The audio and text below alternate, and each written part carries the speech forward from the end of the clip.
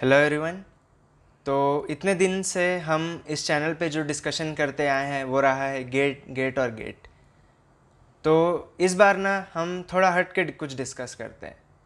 जैसे मैंने पहले ही बताया कि लाइफ में बहुत सारी अपॉर्चुनिटीज़ है. ऐसा नहीं कि एक ही अपॉर्चुनिटी के दम पे हम बैठे हुए हैं. तो आज चलिए कुछ नया डिस्कस करते हैं. ये एक बहुत लॉन्ग जर्नी होने वाली जैसे मैंने बताया, बहुत सारी अपॉर्चुनिटीज़ है. पर चलिए आज एक फ़र्स्ट स्टेप लेते हैं. आज कुछ नई चीज़ के बारे में डिस्कस करते हैं। एक जो ट्रेंड चलते हुए आ रहा है इतने दिनों से, हर किसी ने एक कॉमन वर्ड सुना होगा, जो है स्टार्टअप। तो स्टार्टअप के बारे में नया चीज़ जानते हैं कि क्या है, क्या नहीं, उसके बारे में कुछ डिस्कस करते हैं। और इस डिस्कशन डिस्कशन के लिए हमारे साथ है रुद्र प्रताप सिंह, जो 2019 electrical engineering pass out from N Raipur है। वो एक स्टार्टअप में काम कर रहा है। In the field of data science. तो सबसे अच्छा वही है कि जो सच में उस फ़ील्ड में काम कर रहे हैं, डायरेक्ट उससे जानते हैं। So without wasting any time चलिए देखते हैं रुद्र क्या बोलता है इस बारे में।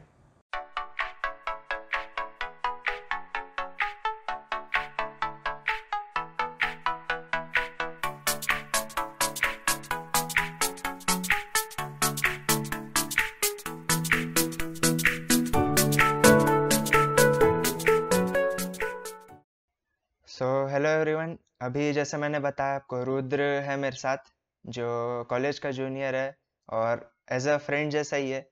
तो ये एक स्टार्टअप में काम करता है। तो जो भी लोग हैं ये वीडियो मैं उसके लिए बना रहा कि कम से कम लोगों को एक आइडिया मिले स्टार्टअप कल्चर के बारे में क्योंकि स्टार्टअप्स आजकल इतने ये रहते हैं वेल ग्रोइंग है इतने आ, इतनी क्वांटिटीज़ में आ रहे हैं। तो एक काफ़ी अच्छी अपॉर्चुनिटी रहती है तो रुद्र के साथ डिस्कशन करते कि कैसा रहेगा। और जैसे मैंने बताया तो मेरा फ़र्स्ट वीडियो है इस चैनल पे इस कंसेप्ट का कि आपको अलग अलग जॉब के बारे में ये सब डिस्कशन करेंगे और भी लोगों से। तो देखते जाइएगा और भी फ़ायदा होता है। सो so, रुद्र थोड़ा इंट्रोड्यूस कर दो आप खुद को।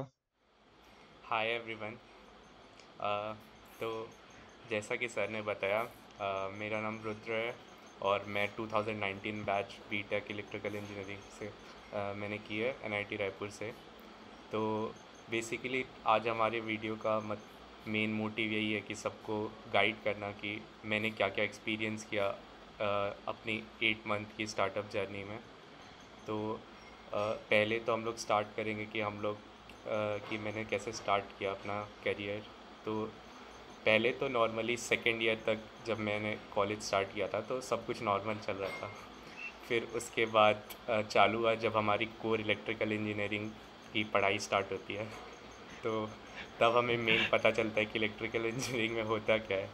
तो नॉर्मली मेरे फ़र्स्ट ईयर से ही उतने पॉइंटर्स तो ठीक नहीं थे। तो फिर भी मैंने इलेक्ट्रिकल इंजीनियरिंग पढ़ने का सेकेंड ईयर में ट्राई किया। लेकिन फिर मैं, मुझे लगा कि लाइक मेरे बस की बात नहीं है। मुझे इतना इंटरेस्ट नहीं आ रहा उसमें। तो उसके बाद फिर मैंने अपने कॉलेज सीनियर से ही बात की तो उनसे पूछा कि मतलब मेरा उतना इंटरेस्ट नहीं आ रहा है तो अब मुझे क्या करना चाहिए? तो फिर उन्होंने मुझे बताया था कि कॉलेज प्लेसमेंट्स और बाकी सब चीज़ों पे का भी मत सोच अभी तू कोई स्किल डेवलप कर जो तेरे काम आ जाए और तू बाद में उसके बेसिस पे जॉब या जो भी तुझे करना है वो तू कर सकता है। तो आ, उस टाइम जब आ, मुझे तो कोई आइडिया नहीं था कि कौन कौन से फील्ड्स हैं बाकी सब। तो फिर उन्होंने मुझे बताया कि ऐसे डेटा साइंस करके कोई फ़ील्ड है तो तू उसको एक्सप्लोर कर। तो वहाँ से मैंने अपना फ़ील्ड को एक्सप्लोर करना चालू किया। तो उसके बाद मैंने फिर आ, अपने फ्रेंड्स को बताया। तो मेरे कुछ दो तीन फ्रेंड्स थे तो वो भी मेरी उनकी भी सिचुएशन मेरी तरह थी। तो मैंने उन्हें बताया ये ऐसी फ़ील्ड है। तो हम तीनों ने एक साथ सीखना स्टार्ट किया। तो तब हमने सीखना स्टार्ट किया। फिर हमने ऐसे ही एक्सप्लोर करते थे तो हमने सीनियर से पूछा कि इसको मतलब फ़ील्ड में हम लोग को कुछ सीखने के लिए हमें क्या करना चाहिए? तो उन्होंने बताया कि कॉम्पिटिशन्स होते हैं और भी बहुत कुछ होता है। तुम ऑनलाइन लर्निंग कर सकते हो। तो उस टाइम हमने फिर डिसाइड किया कि हम लोग ऑनलाइन धीरे धीरे सीखना स्टार्ट करते हैं और उसके बाद हम लोग कॉम्पिटिशन्स में ट्राई करेंगे। तो उस टाइम फिर जब हमने ऑनलाइन क्लासेस स्टार्ट लेनी स्टार्ट की, फिर वहाँ पे हम लोग ऐसे ही लेक्चर्स देखते थे और जो भी वहाँ पे रिक्वायरमेंट्स होती थी, वो अपने आप धीरे धीरे सीखते रहते थे। तो फिर उसके बाद हमें पता चला कि आईआईटी बॉम्बे में एक कंपटीशन हो रहा है, इसी फ़ील्ड से रिलेटेड डेटा साइंस से रिलेटेड तो हमने डिसाइड किया कि चलो हम लोग ट्राई करते हैं। शुरू में एब्स्ट्रैक्ट सबमिट करना था बस। तो हम लोग बोलते चलो एब्स्ट्रैक्ट सबमिट कर देंगे, ज़्यादा से ज़्यादा रिजेक्ट हो जाएँगे। तो उस टाइम पे हमने डिसाइड किया कि चलो हम लोग सिर्फ़ सीख रहे हैं उससे अच्छा सीखते सीखते कुछ अप्लाई भी कर लेंगे। तो हमने स्टार्ट किया वहाँ से अपनी जर्नी तो दो तीन महीने की का वो कंपटीशन था। शुरू में हमारा एब्स्ट्रैक्ट सबमिशन हुआ था। तो उसमें हमने उस पर हमने क्वालिफाई कर लिया था। फिर नेक्स्ट एक और मेंटरशिप आती है। फ़र्स्ट हम लोग जब क्वालिफाई किए थे तो इस कंपटीशन में ऐसा था कि हमें मेंटरशिप मिलेंगी वो हमें गाइड करेंगे वो डेवलप करने के लिए। और उसके बाद हम लास्ट राउंड में जाएँगे वहाँ पे फाइनल प्रेजेंटेशन देंगे आई टी में। तो ये सब कंपटीशन हुआ हम सीखते गए धीरे धीरे अपनी जर्नी में। तो फिर हम वहाँ पे पहुँचे तो हमने थर्ड प्राइज़ हमने थर्ड प्राइज़ जीता था वहाँ पे। तो वहाँ से हम लोग को लगा हम तीन फ्रेंड्स को कि ये फ़ील्ड हमारे लिए सही लग रही है हम लोग इस पर कुछ कर सकते हैं क्योंकि हम लोग इसमें परफॉर्म बेटर करें सीखने में मज़ा आ रहा है। तो फिर हमारा वही था कि अब जो अच्छा लग रहा है वही करते रहना चाहिए क्योंकि कॉलेज की पढ़ाई में हम लोग उतना नहीं कर कर रहे थे। मतलब उतना मज़ा नहीं आ रहा था ऐसा कुछ समझ सकते हो आप लोग। तो फिर हमने डिसाइड किया कि चलो इसी फ़ील्ड पे आगे बढ़ते हैं। तो वहाँ से मेरी फ़र्स्ट टाइम डेटा साइंस में जर्नी स्टार्ट हुई और फिर उसके बाद मैंने जॉब सर्च की। कॉलेज में मेरे पॉइंटर उतने अच्छे नहीं थे तो कुछ कंपनी से मैं जिनमें बैठना चाहता था उनमें रिक्वायरमेंट होती है कि इस कट ऑफ़ से ऊपर होना चाहिए तो कुछ थी कंपनीज़ जिनमें बैठा था तो उनमें नहीं बैठ पाया था जो मेरे फ़ील्ड से रिलेटेड काम करती हैं। तो मुझे तो ऐसा ही था कि मुझे अपने फ़ील्ड में जाना क्योंकि मुझे उसी में अच्छा लग रहा था।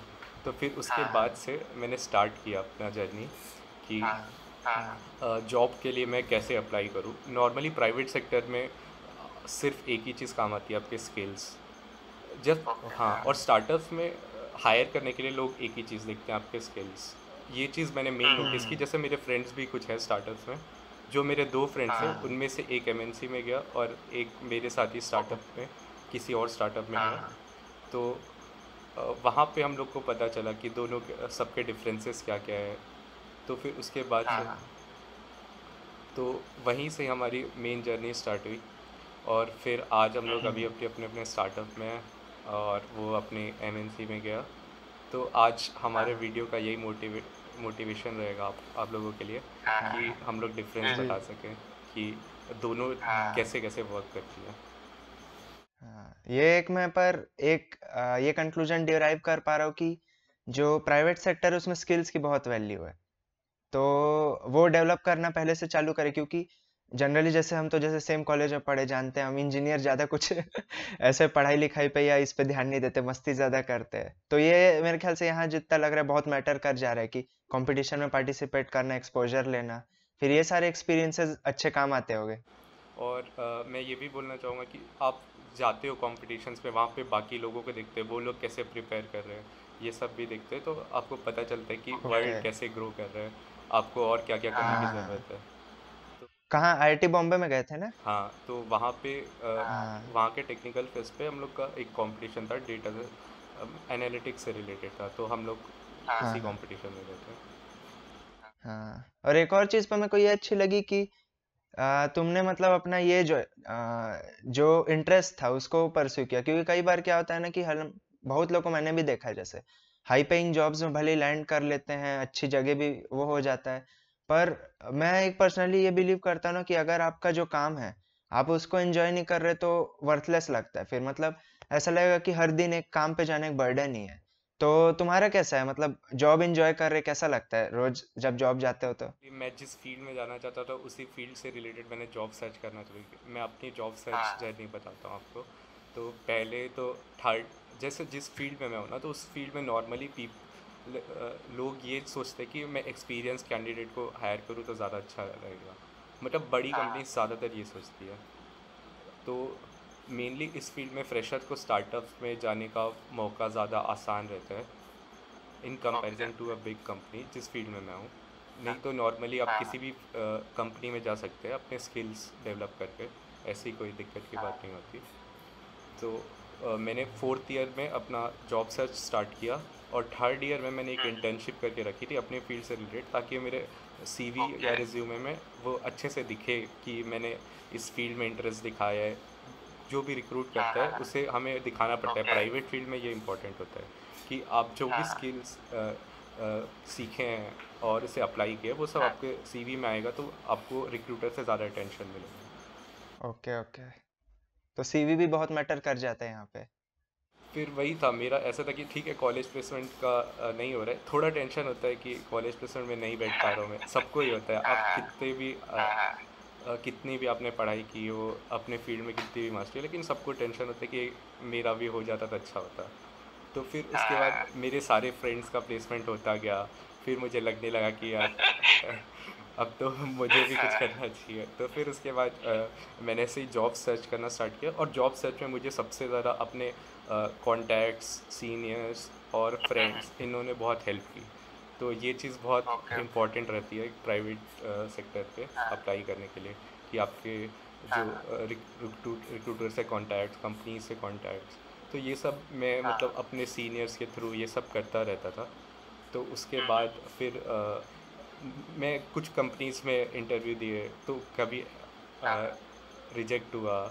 कभी आखिरी में उन्होंने बोला कि हमारी पोजीशंस फिल हो चुकी है you are a good candidate फिर मतलब अलग अलग रिव्यूज़ मिलते थे वो तो फिर मैं फिर कभी कभी ऐसे लगता था कि यार मैं कहाँ मिस कर रहा हूँ तो मैं हर बार इम्प्रूव करता था हर इंटरव्यू के बाद। तो फिर उसके बाद फाइनली एक फ्रेंड के थ्रू मुझे आ, मतलब रेफरल मिला था इस कंपनी में।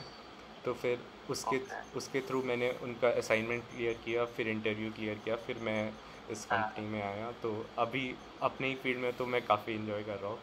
तो अभी कभी ऐसा लगता नहीं है कि बर्डन है। काम अपने मज़े से करते हैं। और हाँ। यहाँ पे मैं जहाँ पे हूँ वहाँ पे इन्वायरमेंट भी काफ़ी सही मिला है अभी तक मुझे। तो कभी ऐसा लगा नहीं कि काम कभी बर्डन है मेरा। हाँ ये बहुत इम्पोर्टेंट है पर जैसे मैंने बताया कि काम जो भी कर रहे हैं, अगर इंजॉय करते रहे तो डेवलपमेंट भी होगा, आप मोटिवेटेड भी रहेंगे। ना कि एज अ बर्डन जैसा लेंगे। काम को एज अ बर्डन लेंगे तो फिर वो फीलिंग खत्म हो जाएगा। फिर ऐसा लगेगा, कब ड्यूटी का टाइम खत्म हो, कब मैं घर पे आऊँ, और कब मैं सबसे दूर भागू। तो चलो, ये अच्छा लगा तुम्हारे बारे में। और जैसे तुमने बताया कि तुम्हारा एक दोस्त एमएनसी में भी प्लेस हुआ तो वो जैसे वो वेल एस्टेब्लिश कंपनी होगी, और तुम स्टार्टअप में तो क्या डिफरेंस लगता है? कि कोई सी वेल एस्टेब्लिश कंपनी और स्टार्टअप में कैसी क्या क्या क्राइटेरिया अलग हो जाता है? क्राइटेरिया ये है कि स्टार्टअप्स में आप मोस्टली जो आपके साथ काम करेंगे वो कलीग्स यंग रहेंगे। आ, और टीम बहुत आ, बड़ी नहीं होती है। बड़ी कंपनीज़ में टीम्स इतनी बड़ी होती है आपको हर चीज़ के लिए एक स्पेशलाइज पर्सन मिलेगा। स्टार्टअप्स में क्या होता है आपको मल्टीटास्किंग आनी ज़रूरी होती है कि कोई नहीं हमारे पास इस टाइम पे तो people should be able to कि ये भी हम लोग कर ले। तो नॉर्मली मैंने हाँ। देखा है हाँ। कि सीखने का ये बहुत ज़्यादा रहता है स्टार्टअप में कि बहुत सारी चीज़ें एक साथ सीखते हैं और बड़ी कंपनीज़ में ज़्यादातर ऊपर की चीज़ें सिर्फ़ ऊपर वाले मैनेजमेंट हैंडल करते हैं तो यहाँ पे जब कुछ पे हैंडल हाँ। होता है तो हमें भी देखने को मिलता है तो ये भी डिफरेंस है हाँ। तो आ, बाकी और फिर आ, अगर आप इंफ्रास्ट्रक्चर डिफरेंस देखेंगे तो फिर बड़ी कंपनी ज़्यादा बेटर होती है। वो बेटर इंफ्रास्ट्रक्चर प्रोवाइड करती है। छोड़ स्टार्ट मेरी company is less than thirty people so it's early staging startup but हमारा हाँ। तो हम लोग वही थर्टी पीपल है but we divide our work such that कि इतने लोग इनफ होते हैं। सो स्टार्टअप्स में ये होता है कि हमेशा उनको जब ज़रूरत होती है तभी वो हायर करते हैं। बिग uh, कंपनीज़ में ऐसा होता है कि they have vacancies throughout the year but startups का ऐसा ज़रूरी नहीं है। So as the company grow करती है उसके साथ हाँ, साथ हाँ। वो हायर करते जाते हैं। हाँ, तो, तो उसके साथ से जैसे अब जैसे हाँ बोलो बोलो। तो जैसे मुझे दोस्त से पता चला कि मेरे जॉब से रिलेटेड उन्हें कोई चाहिए तो फिर मुझे अपॉर्चुनिटी मिली। तो वैसे ही नॉर्मली स्टार्टअप्स ऐसे ही वर्क करते हैं। कि उनका कोई ऐसा फिक्स टाइम पीरियड नहीं रहता है कि हायर करने का। जैसे बहुत सारी कंपनीज़ का भी टाइम होता है कि कॉलेज के बच्चे अभी निकल रहे हैं हमारा है हायरिंग होना चाहिए ऐसा नहीं होता। और जैसे वैसे मैं बताऊँ तो मुझे भी स्टार्टअप का इतना आइडिया नहीं कि मतलब मेरे कॉन्टैक्ट्स में है कुछ लोग पर जैसे रुद्र ही है जो जिससे मैं सबसे ज़्यादा डिटेल में बात किया। अभी जैसे मैंने बैंगलोर गया था मैं तो रुका भी साथ में ट्रैवल भी किए तो तब मेरे को काफ़ी इंटरेस्टिंग लगा ये कंसेप्ट क्योंकि जैसे इंडिया में थोड़ा क्या होता है ना मेंटेलिटी अभी भी हमारी थोड़ी ना आ, ये है कि ज़्यादा चीज़ों से बाहर निकलने का ट्राई नहीं करते। जैसे मैं खुद भी बता रहा हूँ जो मेरा अभी तक स्टार्टअप का ये था एक्सपीरियंस कि आ, मतलब ऐसा जैसे मैंने सुना मैं आपसे वो शेयर करता हूँ कि थोड़ा रिस्की रहता है क्योंकि स्टार्टअप का कितना क्योंकि वो किसी नए आइडिया पे काम करते हैं जनरली तो वो आइडिया कितना चलेगा तो रिस्क इन्वॉल्व रहता है। फिर कैसे क्योंकि छोटी सी कंपनी है तो जो मेरा आइडिया था कि वर्क भी ज़्यादा रहेगा वैसा रहेगा तो कैसा तुम क्या बोलोगे इस पे कि रिस्क कैसा है? ग्रोथ कैसी होती है स्टार्टअप में? वैल्यू वाइज और मॉनेटरी ग्रोथ भी? तुम्हारे स्किल्स कैसे डेवलप होते हैं उस पर थोड़ा? हाँ देखो रिस्क का ऐसा है कि अगर आपके पास स्किल्स है तो आपको कभी रिस्क नहीं होगी। ये एकदम सिंपल सी बात है कि आप कभी भी हाँ। किसी भी जगह जाके इंटरव्यूज़ दे सकते हो। हाँ। अगर आपके स्किल्स है तो आप हायर हो जाएँगे। नॉर्मली प्राइवेट फ़ील्ड ऐसे ही वर्क करती है।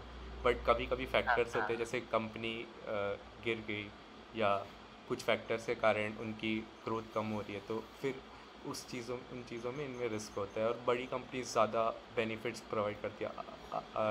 जैसे हॉस्पिटल केयर दे दे सकते हैं वो लोग। और और हाँ। अल, और अलग अलग बेनिफिट्स जो एक्स्ट्रा मिलते हैं उन्हें वो स्टार्टअप्स में हाँ। आपको नहीं मिलेगा कभी। और और कल्चर कैसा रहता है? स्टार्टअप कल्चर जैसे? स्टार्टअप कल्चर में मतलब आपको ऐसा रहेगा कि हर कोई जो जो भी रहेगा आपके साथ काम करने वाला वो ऑल टाइम रेडी रहेंगे काम करने के लिए एकदम पैशनेटली सब काम करते। हैं जहाँ तक मैंने अपने साथ लोगों को देखा है कि काफ़ी एक्टिव लोग होते हैं और काफ़ी सारे यंग होते हैं और इवन जो थोड़े एजड मतलब फोर्टीज़ फिफ्टीज़ वाले भी होंगे तो वो उनका ब्रेन एकदम हमारी तरह वर्क करता है काफ़ी यंग तो वो हमेशा हर चीज़ के लिए रेडी रहते हैं। तुरंत प्रॉब्लम्स में कुछ भी प्रॉब्लम्स आ रही है तो उनको कैसे सॉल्व करना है? क्योंकि ये बहुत इंपॉर्टेंट होता है अर्ली स्टेजिंग कंपनी में कि जितनी भी जल्दी कोई प्रॉब्लम हो आए वो बहुत जल्दी से सॉल्व हो जाना चाहिए। और कभी कभी हमें हाँ। मतलब वर्कलोड के हिसाब से जैसे कभी हमें काम होता है तो हमें लगातार कभी कभी ज़्यादा काम करना पड़ता है। जैसे हमारी कंपनी फॉर एग्ज़ाम्पल अगर हेल्थ केयर पर काम करती है तो इस टाइम उसका पीक टाइम हाँ। होगा कि अभी ज़्यादा काम होगा है। फॉर एग्ज़ाम्पल मेरी कंपनी है जो हेल्थ केयर में काम करती है तो अभी हमें थोड़ा वर्क ज़्यादा रहता है। तो उस हिसाब से जैसे काम की रिक्वायरमेंट तो जब आपके पास ज़्यादा काम है तो आपको ज़्यादा काम करना पड़ेगा। तो हमारा ऐसा रहता है लेकिन कभी कभी ऐसा भी रहता है कि आप नॉर्मल रिलैक्स स्टेट में हो कि अभी सब कुछ हाँ। चल रहा है अच्छे से सब कुछ आपके प्रोडक्ट्स रेडी है सब जगह सही से काम कर रहे हैं हाँ। तो ये सीन रहता है हाँ। तो मान लो अगर अभी कोई नया बंदा है कोई फ्रेशर है जो वीडियो देख रहा है अगर मैं तुमको बोल रहा हूँ कि उसको कन्विंस करो कि स्टार्टअप इज़ बेटर तो क्या बोलोगे तुम startup is better for a young person in the sense कि वो you have a good learning opportunity ahead क्योंकि अभी तुम इस स्टेज ऑफ़ करियर में हो जिसमें तुम रिस्क ले सकते हो कि अभी मैंने रिस्क लिया तो मैं इवॉल्व हो सकता हूँ कि मेरे पास टाइम है और कुछ करने का तो यही एक टाइम है आपके पास कि नया चीज़ एक्सपेरिमेंट करने का और थोड़ा रिस्क भी है तो चलता है क्योंकि आपके पास फिर से फॉल हाँ। बैक करने का टाइम होता है हाँ, हाँ। तो मैं ये बोलूँगा कि तुम्हारा जैसे लर्निंग अपॉर्चुनिटी के लिए आप बिल्कुल ज्वाइन कर सकते हो। लेकिन अगर आपको लाइफ में एकदम सेटलमेंट चाहिए कि मैं एक जगह सेटल हो जाऊँ अपना कमाते रहूँ तो उसके लिए स्टार्टअप्स नॉर्मली आपके लिए सही ऑप्शन है। हाँ और मॉनेटरी ग्रोथ कैसी है? मॉनेटरी uh, ग्रोथ तो वही प्राइवेट सेक्टर स्किल्स पे डिपेंडेंट है तो आपकी स्किल्स जैसी कंपनी हाँ। आपको वैसा ट्रीट करेगी। तो वैसा रिवॉर्ड करेगी। हाँ। तो आपने अगर कुछ ऐसा कर, किया जिससे कंपनी की ग्रोथ हो रही है और पूरी कंपनी की समझ लीजिए एक साथ ग्रोथ हो गई। जैसे डीमोनेटाइजेशन के टाइम पेटीएम की एकदम रैपिड ग्रोथ हुई। तो वो किस लिए? उस टाइम अगर कंपनी ऐसे ग्रो करे तो आपकी मॉनेटरी वैल्यू वैसे ही बढ़ती जाएगी कंपनी की मॉनेटरी वैल्यू बढ़ेगी।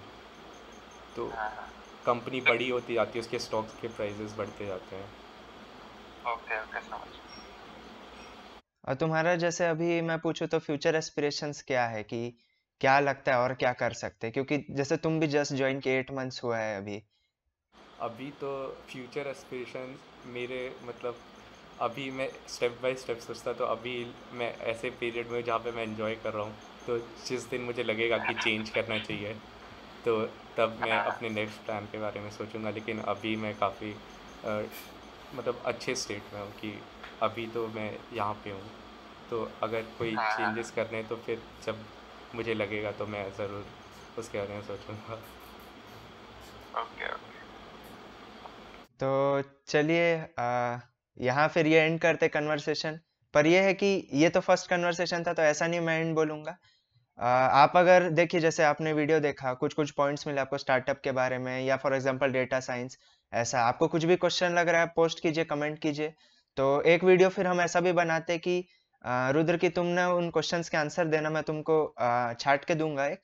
तो just as a question answer क्योंकि अभी तो हम दोनों इंटरेक्ट कर रहे हैं। बहुत सारे क्वेश्चंस हो सकते हैं जो मैंने नहीं पूछे पर किसी और एस्पिरेंट के डाउट होंगे।